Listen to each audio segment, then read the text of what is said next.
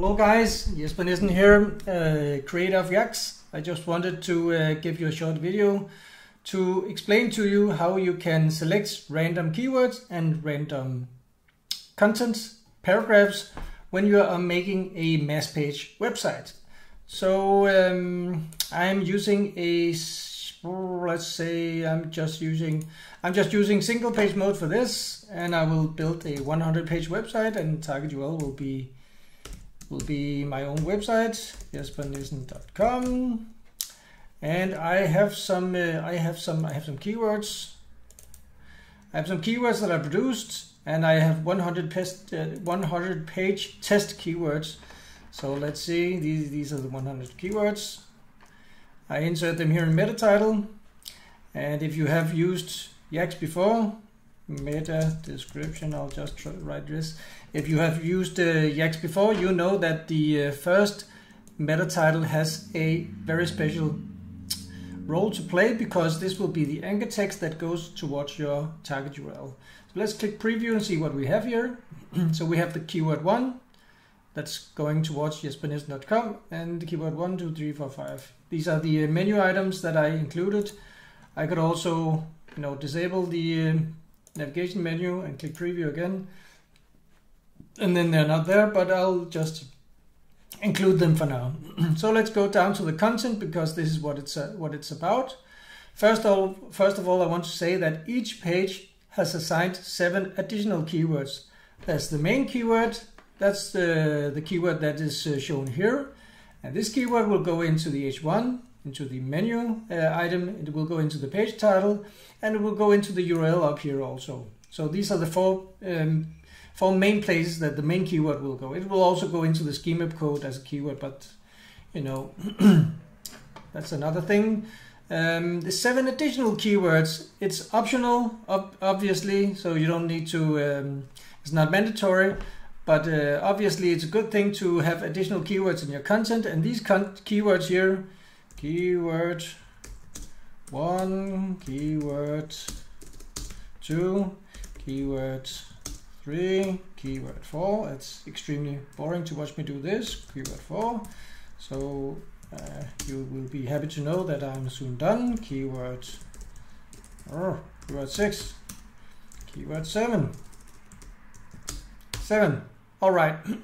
so if I click uh, preview now, you can see that the seven keywords are actually attached now as the, you know, the jump links. It's auto created. I click here. It's a jump link down here, and also uh, as a uh, the subheaders. We also use the keywords in the subheaders, and also in the schema code. If I right click and show source text, I can scroll down. So I can see now that the uh, the description is then auto created by the keywords and accessibility summary and blah blah blah you know keywords award best keyword teachers offers etc etc etc additional use so we use that extensively also in the schema code we just close these here so but obviously you cannot use the same seven keywords if you're building a 100 page website obviously uh, and even though that uh, these fields they support spin text like this so it supports spin text, right? So you can get the variations of this. Obviously, I mean, for 100 pages, this is not good enough. So what we have done is, oh, let me just delete these guys here. What we have done is that we have implemented a random function. So you can actually, instead of inputting keywords manually, like I just did, you can select random keywords.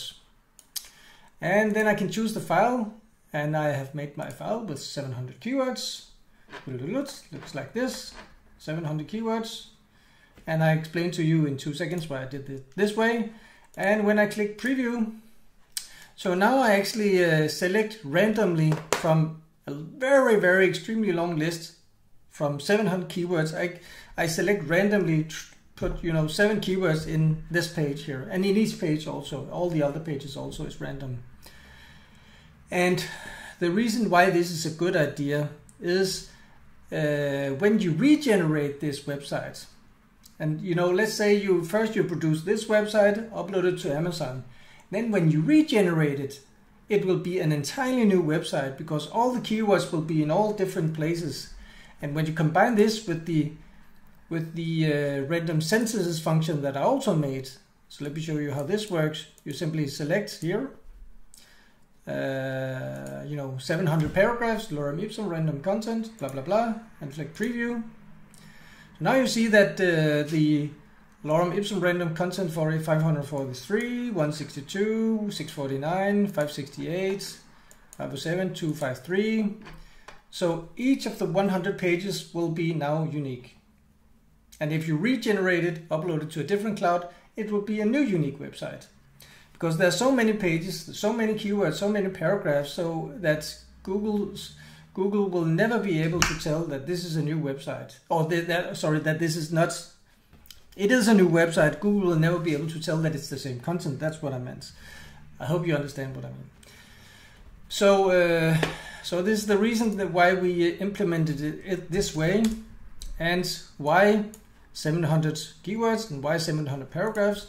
Well, if you have 100 pages, right, and you have uh, seven keywords, right, so that's 700 keywords. If you want a unique key, if you want 700 unique keywords, if, if you want a unique keywords and you don't want the same keyword to be repeated, you need at least 700 keywords because you have 100 pages and you have one and you have seven keywords. And with, when it comes to paragraphs, it's the same thing, but it works a little bit differently because when it comes to keywords, obviously, you know, we can only have maximum of seven keywords on the same page because they are, you know, inserted in the subheaders and they're also inserted in the jump links. When it comes to contents, it's a different matter because we still have 100 pages and we still have uh, seven content areas but uh, we can uh, multiply by x paragraphs so to speak um, so we have 700 we have actually we have x times 700 paragraphs. Paragraphs. So the way we implemented this in um, in uh, in YACSS means that if you want unique content, you know, on all pages and never to repeat the same paragraph more than one time, you need at least 700 paragraphs, at least.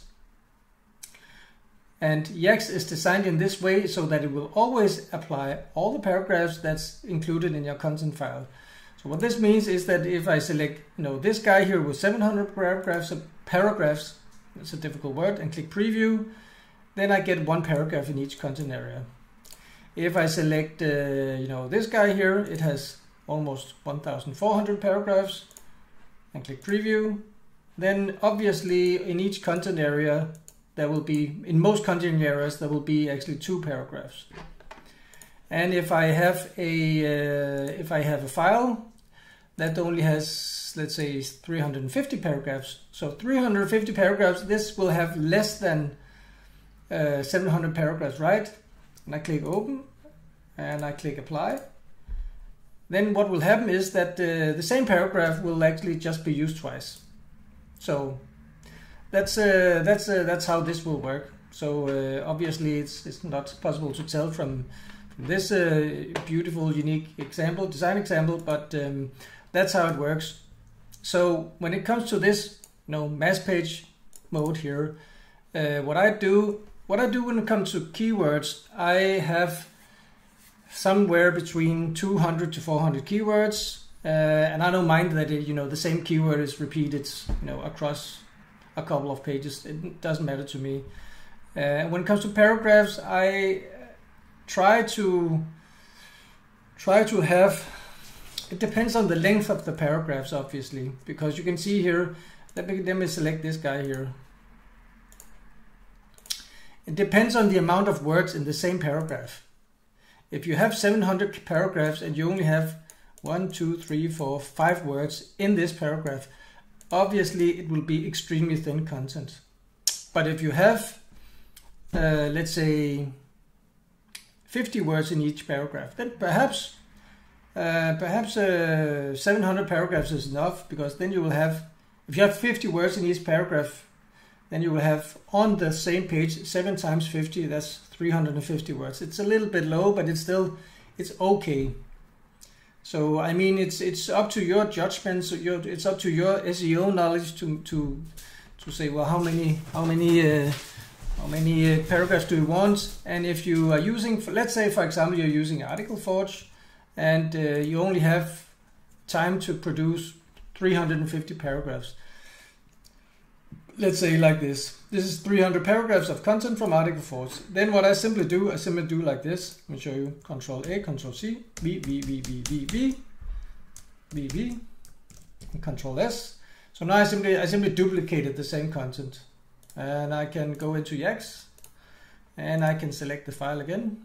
It's much larger this time. Open and click preview, and all of a sudden I have more content. You can see this, and it looks unique. And because the um, obviously I only had 350 unique uh, paragraphs, but I copied and inserted them, you know, five to six times uh, or seven times, how many it was, and now I have more content, and it still it still seems random. So um, to me and also to the Google bot. So yeah, that's uh, that's it for now. It's just a, a couple of words about you know the randomness of uh, these um, of these uh, keyword and content file modes. Um, and obviously it doesn't matter if you're using this builder mode, this, this, this, or this, or this. It doesn't matter. Uh, I mean, it's the it's the same thing. It's the principle is the same. So that's it. That's it for now, guys. Take care. Thank you.